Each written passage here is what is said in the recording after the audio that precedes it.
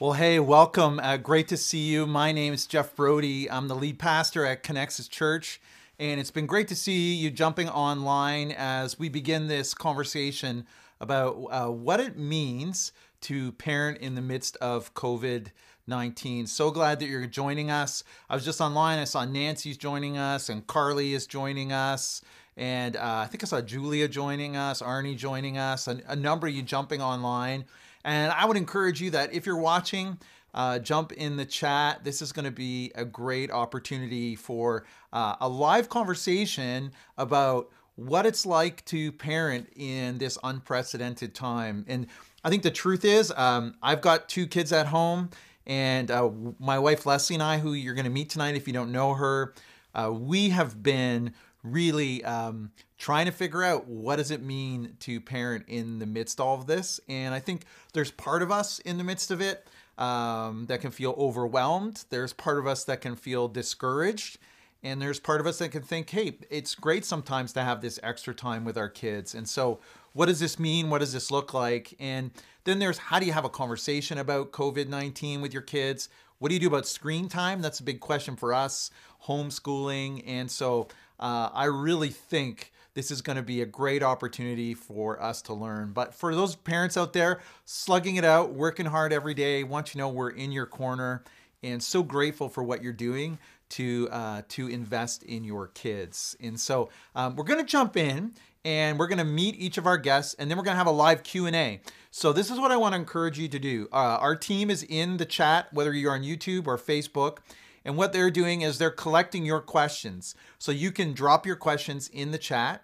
And then in addition to that, um, not only can you drop your questions in the chat, but when any of our um, when any of our guest guests, you could say, who are here tonight, join us, what they're going to do is uh, if they if they talk about any specific URLs, resources, um, we're going to drop some links to those in the chat as well. So you drop your questions in, we'll drop the resources in, and um, and we'll take we're going to hear a little bit from each guest and then take your questions. So um, I'm going to start with um, with Rob Maitre, and uh, Rob is a great friend, and um, it's great to have you with us, Rob. So great to have you join this group. And Rob, um, you work in pediatrics, specifically really in mental health right now and wellness.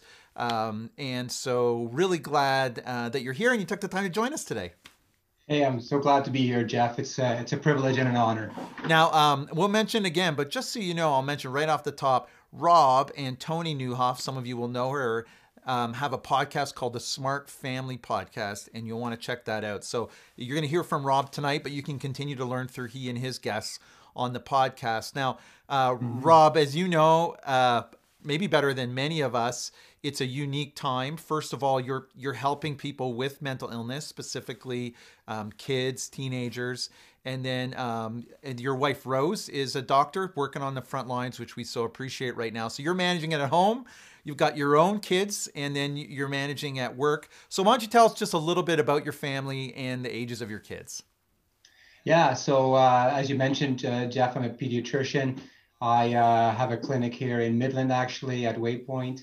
And uh, my family back home, we've got four kids, uh, and they are uh, ranging in age from 10 to 15 right now. Uh, three girls, and then uh, the youngest is a boy, Jacob, and then our three girls, Maddie, Mary, Grace, and Anna.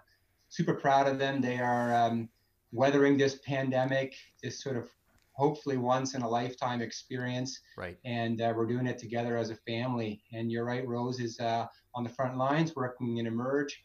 And so um, she's got a busy job too. And, and here we are trying to manage it all. So it's uh, it certainly is a unique time in our uh, world right now. Right, right. Well, I mean, Rob, I know, I mean, not just what's happening in the world, but what's happening at home and Rose being at the hospital you're going to be having conversations with your kids about COVID 19. And as a parent, I'm personally trying to figure out like, what do I say? How much do I say? And like, what's age appropriate for, you know, different age levels when they ask questions about COVID 19? Because um, I don't want to f- put something on my kids that feels like too much, but I don't want to ignore the conversation at the same time. What are your thoughts on having conversations with your kids around COVID 19? Uh, that's a great question, Jeff, and thanks for asking that. And let me just, you know, first say that you know we're we're going through this pandemic, and we're going to see all the the medical issues and physical issues that are resulting from that. But I think we're going to get a second wave of really the mental health and the societal changes that are going to come out of this. And in fact, that will go on a lot longer. I mean, there's a lot of stress in a lot of families, and um, that's uh, going to be hard for families to navigate. There's going to be some difficult times for sure. We know that adverse childhood experiences can cause not just mental health issues later on in life in kids, but even physical issues as well. Right. And so I just think it's really important that we start addressing some of these issues in a in a really intelligent way with our kids. Kudos to all parents out there and all families. I mean, you are going through it, like what I said earlier, a once in a lifetime experience. Uh, we're learning all about homeschooling. We'll hear more about that from Carla in a minute. We're learning all about what it means to be physically distancing uh, I like to use that term instead of social distancing. And so this is really a whole new world we're navigating. In many ways, we're going through one big, giant societal experiment altogether. Right. And um, so, anyway, so how do you talk? Well, first of all, talk to your kids about this. Uh, to try and ignore it or dismiss it, uh, or saying, "Oh, it's nothing," or "Don't worry about it," because we're worried that you know they may get too worried. That's not the right thing to do. Definitely talk about it. I love the quote from Mr. Rogers. He says, anything that's human is mentionable, and anything that's mentionable can be more manageable. Hmm. When we talk about our feelings, they become less overwhelming, less upsetting, and less scary. And I think that's a great quote. So talk to your kids about it, and how you talk to them about it. I mean, how how we talk about it. Uh, we model for them what we want to see in them, right? So you know, kids will watch how we respond. If we become overly anxious or overly nervous, uh, in, in a way that's extreme, that's not helpful and kids will respond that way as well and they'll become anxious we know we know that kids watch us very carefully so jeff i would say let kids take the leads. Uh, share age appropriate facts. I mean you're not going to tell a four or five year old what you might tell uh, a teenager for example. A teenager will want many more details. To have a much better understanding of what it means to be sick uh, and what it means to you know some of these societal changes that we're seeing. A four or five year old may not even really know what's going on. Right. And so you really want to be careful and say, like, there's certain things that are appropriate for this age and certain things that are appropriate for that age. But again, talk about it. Let them take the lead. Let them ask questions. That gives you a good clue about where they're at and provide perspective. I mean, it's just, uh, it, it's, it, it's, it's tempting to, when you read the news to think like this is the most deadly virus out there. It actually isn't. You know, Ebola is much worse. Right. Uh, you know, and here we are with uh, definitely a serious illness, a serious virus. You don't want to understate it either, but you do want to provide perspective and make sure that you're not uh, inaccurate. So get some accurate information out to your kids. You know, um, um, reassure them that they are safe no matter what. Tell them lots of people are working on this. Mm-hmm. Um, you know, this everybody is taking this seriously. But no matter what happens, they are safe, and you're going to take care of them. And then also, I think lastly, Jeff, I talk about what you can do. Okay, when you when you feel out of control, anxiety increases, and we know that that's true for adults and for kids. So it's just so important to talk about what you can do. So you talk about like taking hygiene measures, practicing physical distancing. I mean, when you can talk about it in a positive sort of way like that, that reduces anxiety it allows feel, kids to feel like they have at least some element of control over this very scary situation that um, and that and that can be very reassuring for kids as well. It's it sounds like there's a balance between informing and striking the balance of you're going to be okay that that we're safe on a certain level. Is that kind of what you're saying? Absolutely. And I think we as adults walk that line with our kids. Our leaders are walking that line with our with our you know, with our population in general. Um, it, and that's true for everybody. You always want to you want to be balanced, mm-hmm. and um, you don't want to skirt too much to work towards one extreme or another. And finding out that balance, what's right for your kids. I mean, that's where you know your kids the best, and you know where that balance is. And uh, and it's just always so good for us to be looking after our own mental health. I don't want to ignore that either. As right. parents, if we can make sure that you know we are feeling looked after and we are looking after our mental health, getting our sleep, diet, exercise, making sure that all that's in control as much as we can. Um, that's super important as well because then we are in a good state to look after our kids and strike that balance properly. That's great. That's great. So uh, I, I, have a, a, personal question, Rob, that uh, my wife Leslie and I are talking about often. And I, if we're talking about it, I think a lot of other parents are talking about it.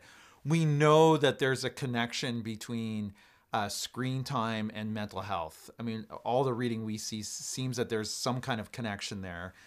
But now mm-hmm. our kids are at school on screens, and it seems like, you know, they're talking to grandma and grandpa on screens. There's just an increased amount of screen time. And we're trying to figure out how do you manage screen time? What's appropriate at a time like this? And how do you balance it with other activities? What are your thoughts on that? Yeah. Okay, yeah, Jeff, what a what a what a great question because you know just a few months ago, before all this was really you know exploding onto the scene, I was talking about screen time being linked to anxiety and depression, and how you know it causes kids to be more isolated and not forming social relationships uh, in person like they should. And here we are now we're relying on screens right. to increase socialization and maintain relationships and in a way, the tables have turned. I think some of us have just thrown up our hands and said, screen time wins. Right. Um, but, you know, I think, again, everything is should be balanced. I think we should make sure that we keep making time for other non-screen activities. Physical activity is just so important to maintain your own mental health. I mentioned that already. Make sure it does not interfere with sleep time and make sure it does not interfere with just family time. I mean, remember before this pandemic how i mean if you ask any parent what would you want for your family? They'd say i wish i could spend more time with my family. Well be careful what you wish for because now you've got like all the time in the world to spend with your family. And uh, so make sure you use it wisely. It is very tempting for us to jump to our screens and again just like what i said before you know we got to model what we want for our kids to do. So if we're constantly scrolling through our social media feeds uh, watching the news and I'm guilty uh, as charged. I mean, for the first few uh, days and even a week of this pandemic, as things were really taking off, I was watching the numbers and I was, you know, tracking the statistics, and I and I, and I saw my screen time you know, Apple iPhones, they have this screen time thing where they measure how much screen. I just I, I just ignore that. I, I don't pay attention to it. I was I was through the roof. It was embarrassing to talk about IT. How many hours did I spend on my phone these last few days? Um, so definitely make sure it doesn't interfere with that. The other thing to that's important, Jeff, is because a lot of kids are now spending educational time on screens, and I think we'll talk about that a little bit more in a second as mm-hmm. well. But that that, that should not count as as screen time in a way. We have to mm-hmm. make some exceptions during this time. Mm-hmm. There's educational screen time, and then there's recreational screen time. I think that's where we need to set some more parameters around. Whenever you're talking about screen time with kids, especially older kids, I always love a collaborative problem solving mm. approach. All right. So that means getting your kids involved in a discussion. Hey, how much do you think you need to use your screen? You know, what's a good amount of time per day? You'd be surprised. Usually their answers are very reasonable and realistic. And then, you know, should there be some consequences if we kind of don't adhere to those to those rules that were in guidelines that we're setting for our families? So try and use a collaborative problem solving approach. Um, I mean, I have some other tips and stuff, such I mean, including things like don't use screens in bed or before bedtime. It tends to keep you awake. Mm. Screens and games and such on your phone are more activating and they are relaxing. Right. So it's never a good idea to use a screen before before before bedtime. Um, and, and then use that screen time function for your kids. I mean, if you got an iPhone, you can use a family sharing. And uh, if you're the administrator, you can see how much screen time all your kids have, and you can sort of adjust that and set some parameters around kind of what apps can be used when and, and what sort of the time limits are. Again, do that in conjunction with a, a good conversation with your kids so that they can feel somewhat accountable and part of the process of, of solving this uh, this problem. Yeah, and th- and there's a number of tools out there to do that. Whether it's your you know the app that you have on your phone that's counting the time. We use uh, Circle by Disney at our house. I think we have the link for that. We can drop in the chat. That's been a good tool for us, but it is a good idea, Rob. I'd never thought of it to work together with our kids on what are the settings on that monitoring device versus you know the parent just arbitrarily making the decisions. Yeah, absolutely, Jeff. In general, uh, and this is true for any sort of problem solving with kids, unilaterally imposed solutions on kids rarely stick. Mm. If you can get kids to be involved with with coming up with solutions, um, they're going to be more accountable to it. They're going to feel some ownership to it, and you'd be surprised. They're much more likely to follow the guidelines that they have helped set. And plus, isn't that how we want kids to to function in the adult world eventually? So, what great time to practice it than now with our kids when we just have these issues come up in our family life. Okay, that's great. So, uh, Rob, we're going to come back to you on the panel, but if you've got questions, don't forget to uh, put them in the chat, and we're going to get to those. And then uh, I'm going to introduce. Uh, I'm going to introduce my favorite guest. I'm a little bit biased. Um, my wife Leslie, uh, and right now my hairdresser, my barber. Um, and so uh, my wife Leslie has been. I was trying to think the other day how long you've been a teacher, like a guidance counselor. How long has that been? Oh, uh, I think about 25 years. Okay. Something like that. Wow. So that's how we met. Uh, I was a high school teacher at one point. Uh, Leslie is an incredible guidance counselor. She leads uh, a student services department at um, a very highly regarded high school and has been doing it for years. And now she's doing it at our house um, as she's working from mm-hmm. home. And uh, we've also got a, a, grade nine student and a grade six student, uh, Carter and Gavin, at our house. We're trying to figure out online schooling with them, as well as uh, she's helping a lot of parents and spending a lot of time on the phone with parents these days. And for the the people who kind of have teenagers in particular out there, uh, Leslie, I know you're getting questions from parents around this sort of online teaching seems like a great solution, but it doesn't feel like it's working for every student. Um, it's mm-hmm. not like everybody isn't self motivated. Um, not everybody has all the supports in place. So, for example, if you have a student that has supports at the school, and now they don't have those supports. What does that mean socially? Uh, they don't have access to their friends. For for some for some uh, teenagers, that's going to be a really difficult thing. What's the kind of advice that you're getting, you're giving, and uh, to parents who are calling about these specific issues? Yeah, no, that's uh, we're all facing the similar types of situation, but you know, our kids are all wired differently, and uh, learning how to help each one of them navigate through this situation is is an ongoing um, reality. Um, the first thing that I would say to them is just recognize that students need to be able to mourn um, the things that they are losing, the things that they've lost. Um, don't minimize uh, what they're what they're missing out on in these in these times. You know, things like relationships. It it could be friendships. It could be you know the young puppy love stuff of high school that you know might not seem that important to us, but for them it's the everything. Um, things like graduation and prom for our senior students. It's just a real loss that they're facing, and so allowing students to process that, to mourn that, uh, even sports seasons, all sorts of things that, that are just no longer part of their high school reality, um, and that that's a real challenge uh, for a lot of our students. Um, the, the next thing I would say to them is it's, it's helpful to create a sense of structure, create a sense of uh, predictability, but with flexibility. Uh, what we're recognizing with remote learning, that's how we're calling it at our school, because online learning is different um, than what we're doing in this uh, this different. So time. what's the what's the difference there? Why the nuance?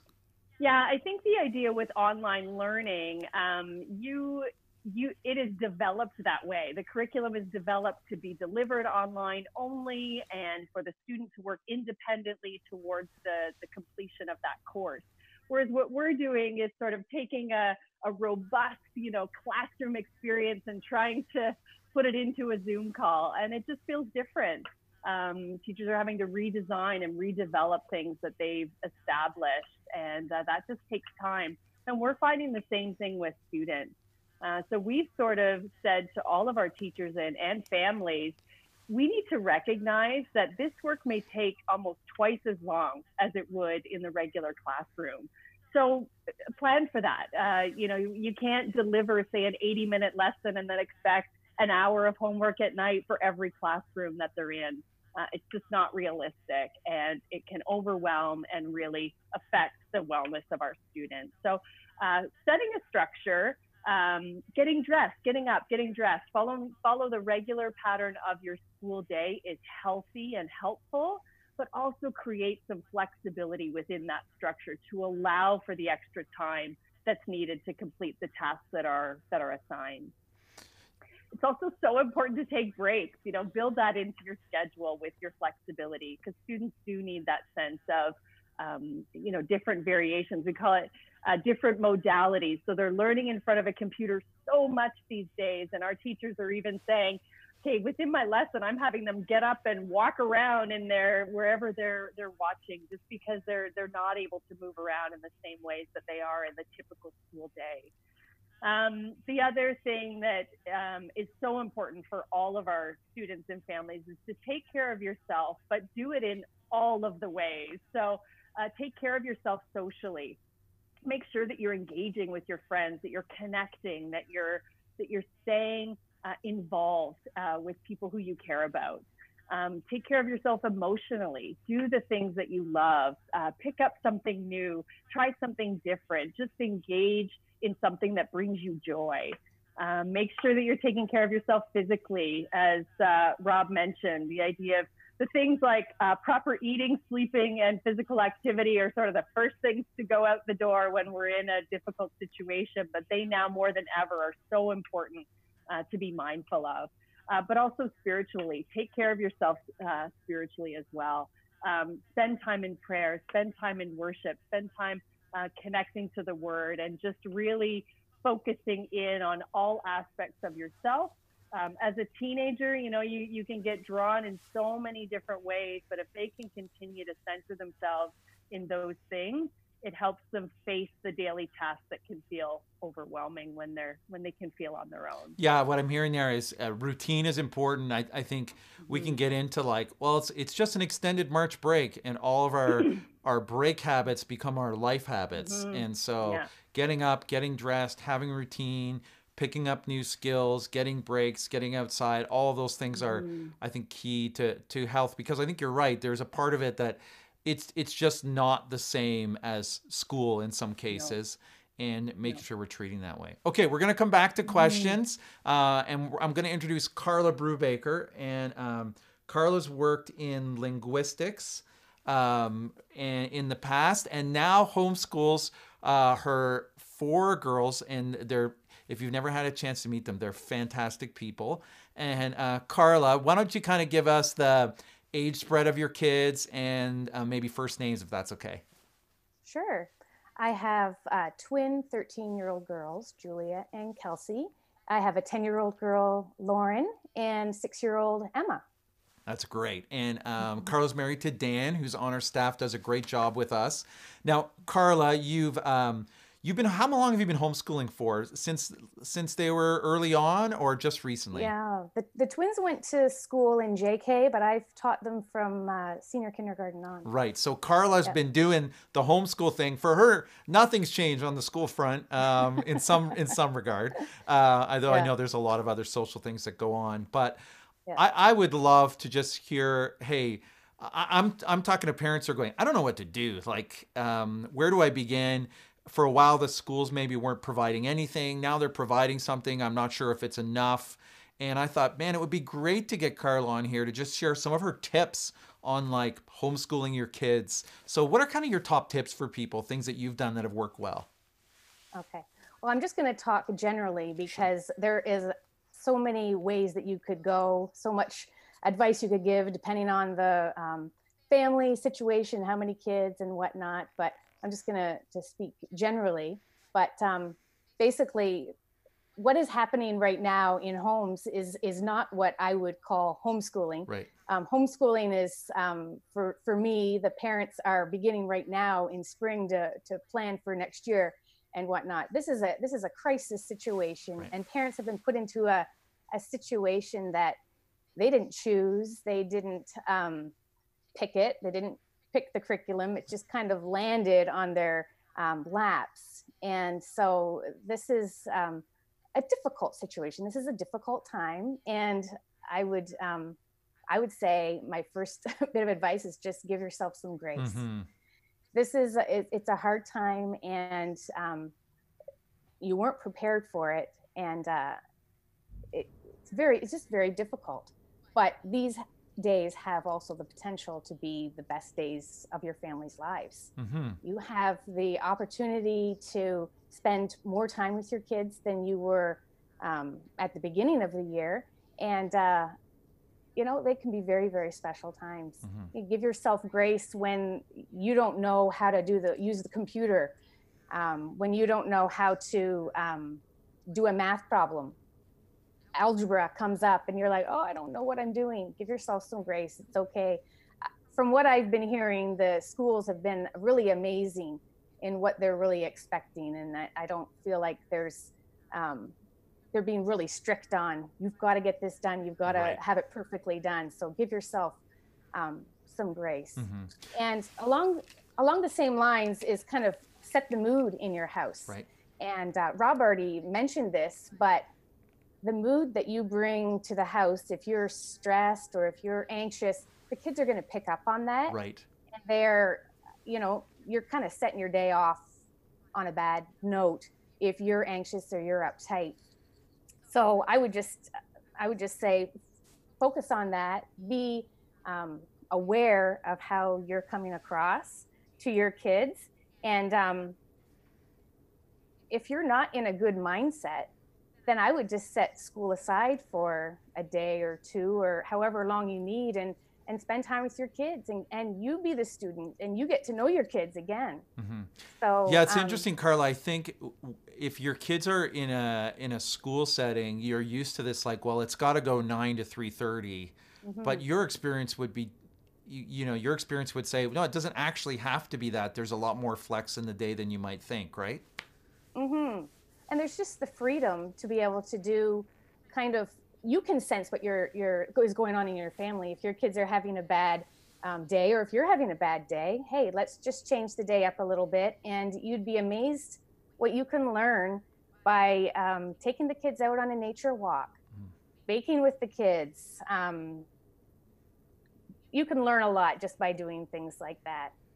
Um, that's great. so if you're in if you're in the right mindset and if you're giving yourself grace, then I would say my third piece of advice would just be to set um, a schedule, set um, what your day is going to look like. And Leslie, I already mentioned that, mm-hmm. and I thought that was great. Um, so basically, if the kids know what to expect um, from day to day, they're just more comfortable. They're feeling good about themselves. I know that this is happening and this is what's happening next. They're calmer and they will um, excel in that kind of situation. So um, I don't know if you want to wait for question time for me to kind of ex- say what my um, schedule is like around our house. Yeah, give me or... the quick rundown. Of, like, give me the quick rundown.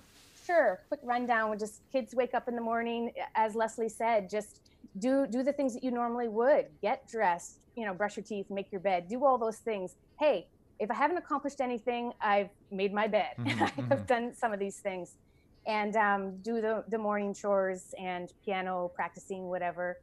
Uh, one thing that I do a little bit differently in my house because we can is a nine at nine o'clock. We've just chosen that time. I stop everybody and we all go to the couches and I read a book. Okay. And I kind of feel like when you wake up in the morning, everybody is just going whichever way and it's kind of crazy in the home.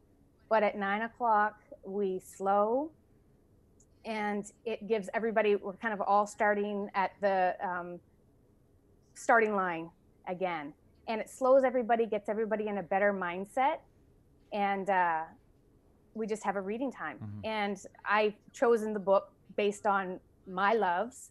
And uh, it's also a really good time for discussion.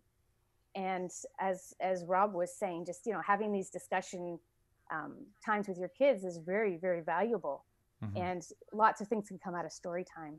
Um, and then we start our school. One thing I would say about starting school is do the hard thing first. Okay, that's good. So if math is hard, do it first, and then you'll be able to enjoy the rest of the day. Okay. Um, take break times. I think Leslie said that. Mm-hmm. Maybe go out for a run. If one parent's helping with schooling, get the other parent to, hey, you're the gym teacher let's go for a little game of soccer or run around the block, whatever it may be. Um, lunchtime. Another thing that we do in this house is we have quiet time. And this is also known as sanity time. Yeah, really. And I think that if parents allowed themselves to say, hey, between one and two, or between one and three, whatever it may be, um, hey, we're going to have a quiet time, and this is going to be our time for reading and um, or whatever it may be. Uh, but it's it's a quiet time. It's really, in, in all honesty, it's my time for nobody to be talking to me, so I can um, care for myself. Right. yeah, and um, in our in our house, three to five is outside playing. Right. Yeah. That's great. That's great. Okay, really good. So now we're going to open it up for questions. Kind of got a run down there. So uh, we're going to move over here. And Jen's with us, uh, who serves on staff with me, does a great job. Jen, what questions do you, do you have there from uh, the Q&A? And if you've got other questions, let us know.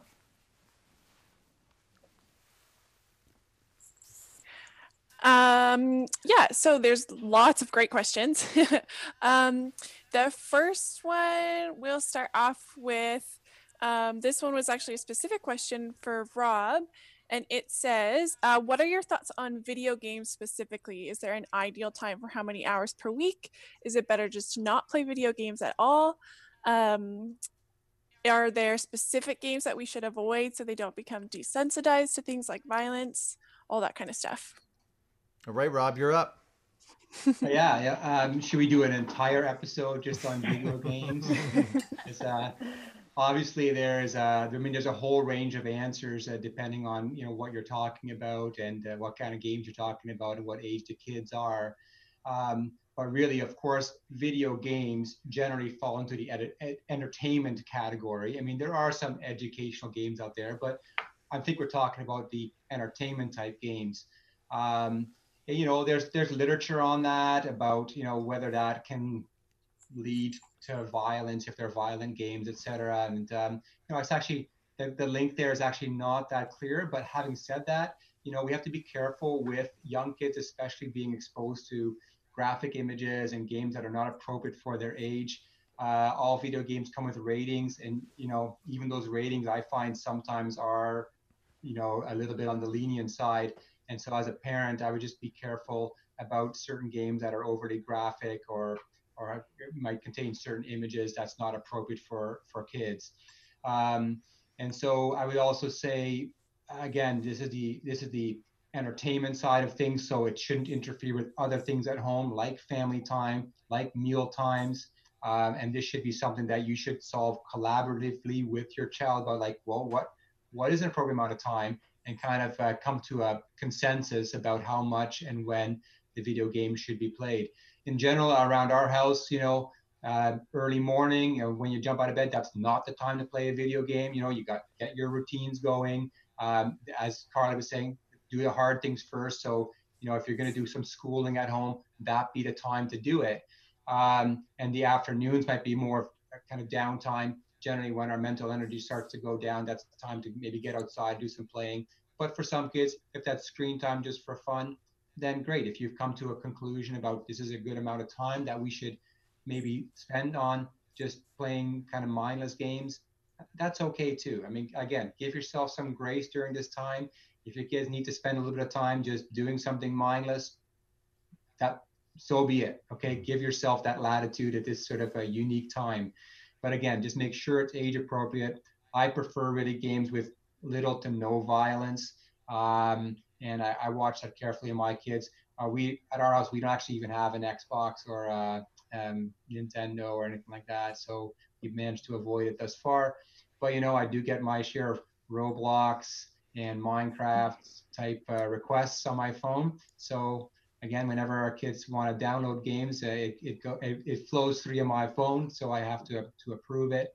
Uh, that might seem like extreme measures, but I mean, I think that's just what is good for kind of family function. Know what your kids are doing, and and here's another thing: when they're playing those games, um, either play with them or ask them about it. You know, talk to them about it. Say like, hey, how do you get a high score in this game? Or like, what's that? You know, funny character over there um, and you know that, that just uh, you know reduces sort of the guilt uh, that sometimes is mm-hmm. associated with just playing video games even as adults we do mindless things that really don't mean mm-hmm. anything and kids should have the ability to do that too every once in a while, just to kind of shut off and tune out and just do something just for fun. Great. That's great. Thanks, Rob. You got another question there, Jen? Uh, yeah. Um, so this one is from um, a mom named Melissa. She says, How do we approach our little one's emotions? My daughter is three and not understanding physical distancing. She misses her cousins, friends, church. Um, she's asking the same questions and it makes parenting really hard. Mm. I might throw that one to you again, Rob, if you don't mind. Yeah, so here, you know, we talk about uh, what is developmentally appropriate. You know, kids at the age of three have uh, they have strong emotions. We know that, um, and how they express that is um, is uh, pretty obvious. Sometimes, you know, we talk about temper tantrums and and kids getting upset pretty easily. Things escalate quite quickly. Emotional self-regulation is just starting to develop.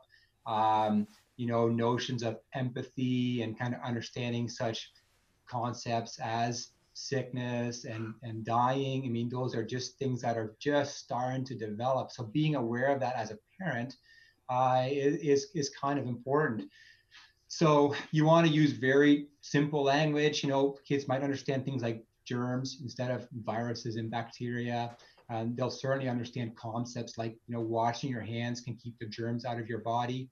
Um, and that you know um, when you're sick you have to go to the hospital. Um, and then you can talk about germs too like how how they spread. So coughing spreads germs. So you want to be careful you don't cough on someone because you know those things kind of come out of your mouth and can land on somebody else and you can spread your germs that way. So i think a lot of kids know the concept of germs and cooties and all that kind of stuff so you can use whatever language or words uh, your your kids are using at school or with their peers and just kind of capitalize on that and use that uh, for your explanation. Mm-hmm, mm-hmm. But it's a tough age. I mean, they're just, you know, at age three, they're kind of barely verbal and they're just, they're just starting to learn language. And so as a, as a parent, we got to just come down to their level and uh, connect with them emotionally. I mean, if they're, they're anxious and kids will like at that age will express anxiety in, in, I mean, different ways. I mean, oftentimes it's irritability. They can withdraw um, it's not the same way that we adults express anxiety. And, um, you know, sometimes we have to be just a bit more aware that when kids just don't feel like doing something or they're quiet, um, some kids, when they're a bit older, they'll, they'll maybe joke inappropriately or kind of pretend something is funny. And you realize, oh, there's something deeper underlying this, mm. this sort of uh, dissociation from reality. And so uh, that's, again, is something for parents to try and clue in on. It's like, what's really going on here? What are these emotions really about? Um, why are you not want to do things that you normally would want to do? Uh, and let's talk about it. And yeah, as you said earlier, the balance of uh, not freaking out. Like we had a situation a number of weeks ago, early on in COVID, where our kids were talking about, oh, we ran into another kid at the park and we were playing with them. And, you know, on the inside, I was like, oh my gosh, like they should be doing that and I'm starting to freak out, you know. But what I'm actually doing is just making the situation worse, not making the situation better. Um, yes. You know, stay calm. Everything's under control. Right. You know, just kind of just being uh, just being realistic in that situation. I mean, we're never going to be 100% perfect when we're even as we start to loosen some restrictions. You know, we're we're going to make some mistakes, and you know, and that's what we have to keep an eye on. But you know, don't. Uh, don't uh, kick yourself too hard because you know you've uh, you've let something slip or you've um, reacted in a certain way or done something that's uh, oh, that's not the public health guidelines you know but try to follow everything of course as best as you can be careful uh, especially for our vulnerable populations that are out there. Great.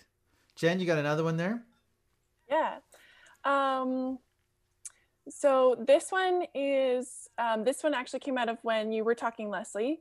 Um, and it says i'd love to hear more about helping our kids grieve.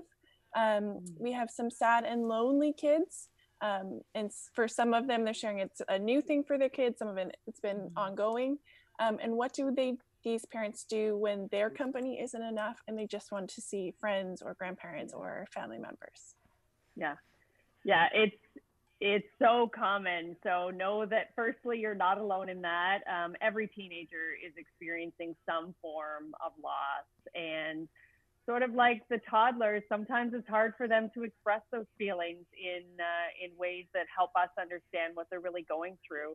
Sometimes the grief does look like irritability or frustration or you know a flying off the handle about something when when you really start to unpack it further, you recognize no, it is really just more that uh, they're struggling with their emotions and um, you know how to cope with that. So so the first thing is um, is just allowing uh, them to talk, but listening maybe in the moments when they're not actually saying the words "I'm sad."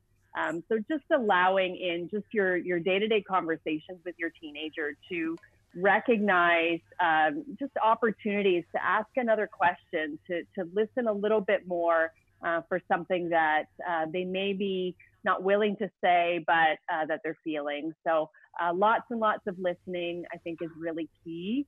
Um, sometimes teenagers don't know. Um, we think they're social beings and that they're good with all this social media or you know whatever they whatever they need to connect with their friends. But some some just aren't uh, in the same way that others are. So um, sometimes they might need some coaching on um, hey, why don't you um, pick up the phone, and, which is very foreign to many teenagers these days, but pick up the phone and call that friend, or um, why don't we? Um, I've used the uh, the idea of uh, let's let's give grandma a call on Zoom and make them think it's about grandma, but sometimes it's about them too, and being able to uh, really connect with you know cousins, grandparents, whoever it is that they're uh, that they're missing seeing, and that goes with their friends as well. Uh, so sometimes they, they may need a little prompt where we wouldn't think that to be the case for teenagers. Sometimes they really do need our help to, um, to take that first step and maybe to take a second step um, after that. Uh, it just can be um, sometimes feel overwhelming um, for them to, to do those things that we think might be pretty easy for them. Mm-hmm. One, th- one thing I've learned from Leslie is just because uh, somebody kn- know just because a student knows how to text or use social media doesn't mean they know how to be social um, mm-hmm. it's not the same thing and so coaching kids to kind of communicate is important that's great thanks leslie jen what else you got um, so this one has been repeated by a few people so as more and more parents are now also trying to learn what working from home looks like um, do you have any advice for parents who are quickly adjusting to working from home while also helping their kids adjust to remote schooling? I, I don't um I mean I think for it's kind of a mix for all of us. Maybe we'll a couple of us will tackle that one. Maybe Carla, we'll start with you. Dan was working more from the office, now is working more from home. Has that changed a little bit as to kind of how you approach things or things kind of the same as they were?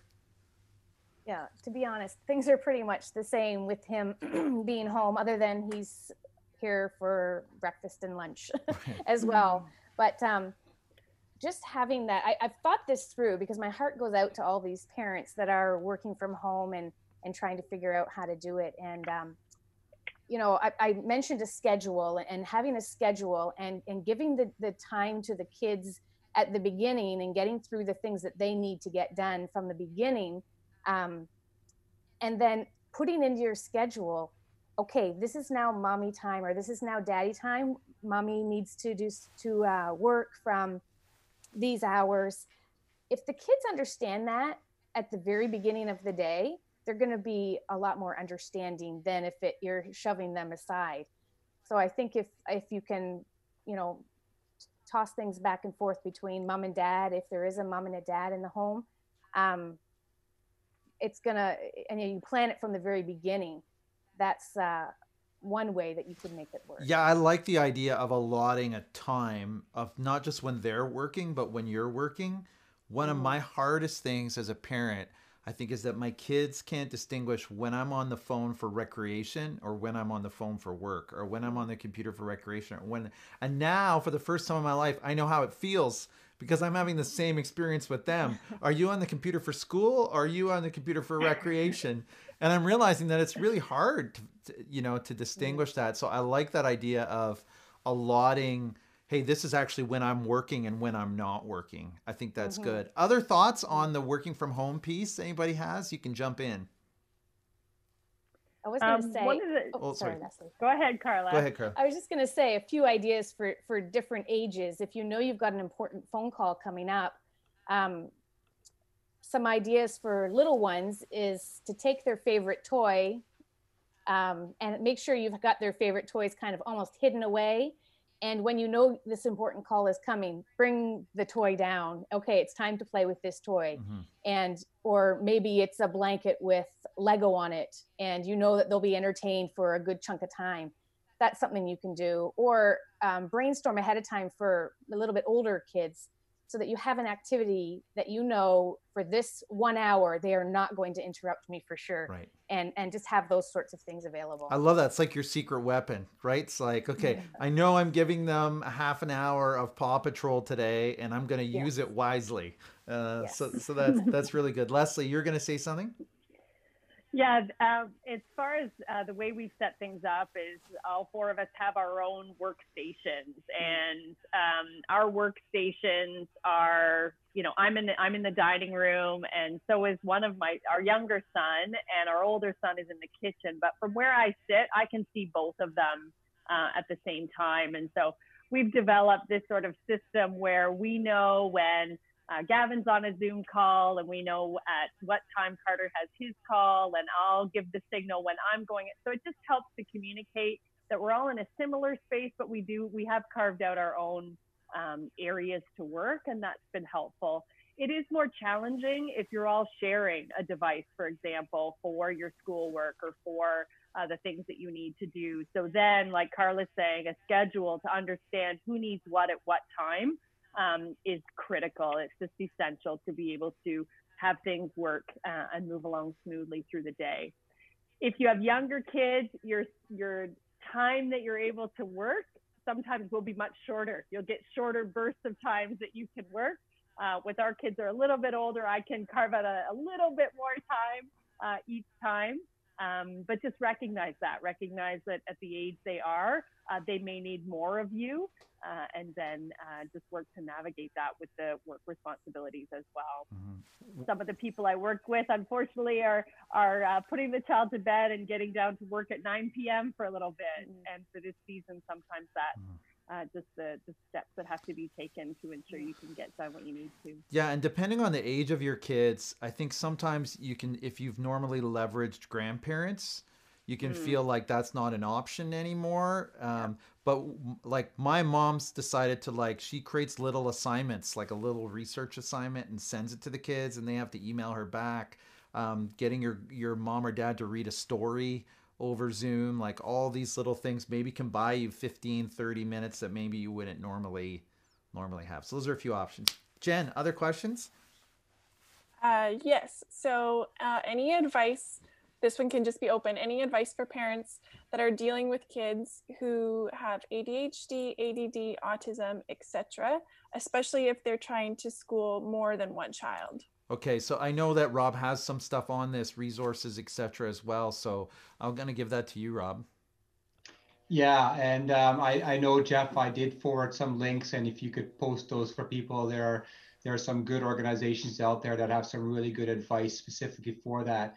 But I can I could tell you a couple of things just right off the bat, and this has been brought up by by Carla and by Leslie and by yourself too, mm-hmm. is routine, routine, routine, right? Because that if you can kind of get a routine going. When we first started out with this lockdown, it was kind of like every day was a Saturday, and I've been telling parents, hey, start making every day more like a Tuesday all right. so pretend it's a school day, get up, brush your teeth, have breakfast, you know, get dressed or whatever order you normally do it in. Because, you know, kids were sleeping in pretty well every day. And it was March break, remember when kind of schools oh. closed down. And so we all had good March break. But after March break, we're like, hey, we got to get down to a routine. Remember, routines and doing things in a predictable way reduces anxiety. I mean, if you can kind of know what's going to come up, that actually reduces anxiety. Again, when we feel like we're in control, anxiety tends to be reduced. Now, of course, that's not possible all the time, but kind of try and establish that kind of routine with your kids, uh, especially kids with ADHD, with autism, especially, right? So, autism, uh, kids with autism, they kind of like to know what's coming up. They they they can sometimes be anxious, um, and so if they're sort of uh, aware of what the schedule is for the day, maybe going over that at the beginning of the day, would be really useful for them.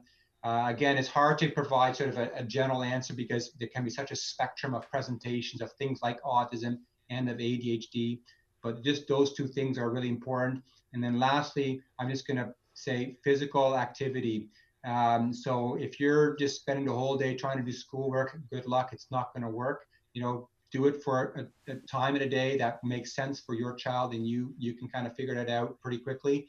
Uh, but then make sure they get outside every day. All right. Make uh, uh, at the beginning of this um, this lockdown, you know, I said school might be canceled, but the the great outdoors is not. And I mm-hmm. know in some countries it is actually. So I just want to you know throw that out there too. But for now, mean, kids can still go out for a walk. You can you can still go walk down the street. Uh, make sure you keep that physical distance. Um, even you know running around in the field again, just kind of being aware of what the regulations are, but trying to kind of keep kids active. I think is really important, especially kids with ADHD who just kind of they need to burn off that energy. And in a way, they have more flexibility now with that than they did at school. So um, you know, you, so as a take advantage of that as a parent mm-hmm. uh, and say, okay, let's take a five minute break. Um, you know, we'll work on the schoolwork for 10 minutes.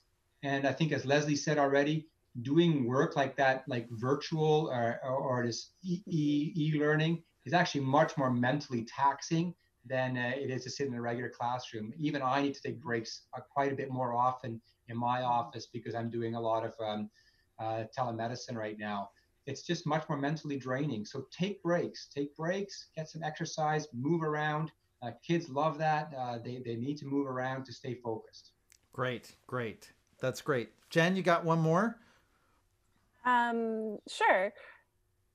This last one, there's there's lots more. Um, we'll go with. Uh, do you have any advice for single parents who have their kids solely on their own right now? Great. It doesn't say the ages, does it at all? Um, this has come up in a couple different. So some have younger kids, some have elementary kids. So so, so it, between preschool and elementary. So maybe we'll give that we'll give it to Leslie and Carla. So we'll start with Leslie, sort of on um, and kind of see where we land between the 2 mm-hmm. Yeah, I th- it's uh, first just recognize that you're dealing with an extra level of complexity as you know carla mentioned the idea of spelling each other off you know i'll take this you take that. Um, that doesn't you know happen uh, when you're working at it on your own. So uh, the first thing is as before give yourself some grace to recognize that um, you're trying to do it all. You're trying to parent you're trying to be the the cook, the you know the educator, all of those things all wrapped up in one. Um, I, to me, the first and foremost thing is to remember that the wellness of your child is is the the most important thing for them. Uh, yes, the school is important. The things that they need to learn are are are part of their development. But this is a crisis season, and um, you don't need to necessarily expect yourself to check every curriculum box um, before they go back uh, to school. Uh, so recognize that it's okay if some things don't get covered. Um, recognize that it's okay if today the kitchen got cleaned and you know maybe tomorrow I'll work on preparing a nice meal. But today the focus was just you know hugging and loving on my kids and so hot dogs. I think a, hot dogs in the microwave. Listen, Kraft Dinner, whatever. it does. It's all okay. Um, so just recognize um, that you also need to take care of yourself. Uh, if you are working at a lot of things uh, where it could be your job and um, parenting and educating your kids, uh, all of that um, is a lot for you as well. So recognize that that you need those those quiet spaces, quiet times for yourself to recharge because when you are at your best, that's when you can give your best. And if you're too depleted, then um, it's hard to uh, to give your best. So I think that's really important as well. Carla, uh, I know Leslie said a lot there. Is there anything you had to add to that? Oh, I thought that was an excellent answer. Um, I, yeah, it's hard to say depending on the ages of the kids, mm. but even just you know, I'm I'm in my mind picturing um, some little kids, you know, taking taking the kids outside, and if one of them's in grade one or grade two learning addition facts, they can write those on the on the driveway with chalk while the other one's running around and, and playing and having fun. Like I'm just trying to think of ways as um, one parent can can try to have a few kids and and do um, whatever they're needing to do. Right. But I think the main thing is to give yourself some grace and understand that you know the what the ask has been pretty big right right. for these parents. Now carla I, am going to put you on the spot with a question but i think i think you'll know the answer. So i would love to know as we kind of wrap up here spiritually as we walk with kids during this time i'm a big fan of bedtime spiritually or set aside time spiritually. Can be for us it's bedtime could be mm-hmm. other times what has been your routine with your girls at the kind of when they were younger or kind of now at this age just from a spiritual standpoint as we walk with our mm-hmm. kids mm-hmm.